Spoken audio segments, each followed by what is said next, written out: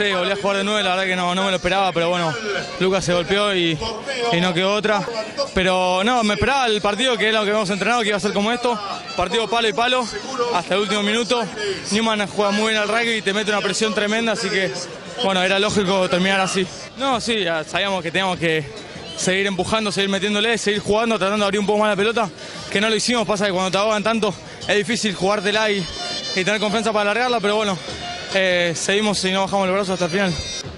Y no sé, siempre nos planeamos, nos proponemos jugar los 80 minutos, pero también cuando ya un par de veces ganaste así, obviamente también vas a buscarlo por todo, porque sabes que se puede dar, se puede dar de cualquier manera.